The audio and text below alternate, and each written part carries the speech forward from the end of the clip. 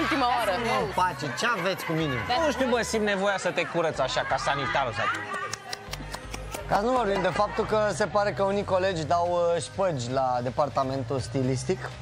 Ia uzi. Văd că te-au... Uh...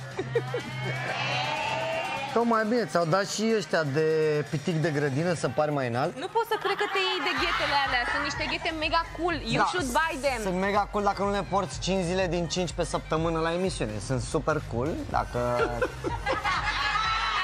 Așa și nu te Doamne. dai înalt uh, doar pentru că ai ceva în pantofi. Domnul Dani, you need a hug? Ai nevoie de o îmbrățișare? Eu spre deosebire de colegul meu Rozan, sunt îmbrăcat tot de același departament stil, după cum se vede, n-am prea dat șpagă în ultima săptămână. Am Se acești poartă astea blugi, cu uh, old peciuri, school. cu Sunt astea. super tare. Am vrut să-mi și cumpăr. Am uh, badge-uri muzicale. Uh, peciuri sau badge este același lucru în cazul ăsta pentru că uh, ap- apar. Deci, cu asta înveți uh, să cânti. You can ring my bell. Iată. Foarte bine. Tu n-ai prea învățat. Iar eu știi ce am astăzi? Am vlogii cu... Pot să zic la televizor? Nu! Zi? Da, pot să zic, adică e, e tare. Ai blugi cu funduleț? Da! Adică vlogii ăștia îmi stau bine.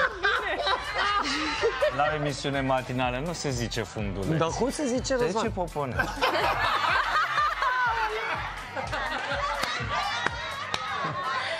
Bună!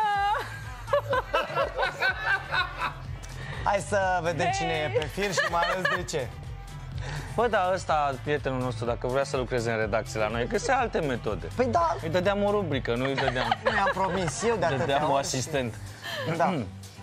Așa e, mai întâi vin îți iau asistentele și după aia...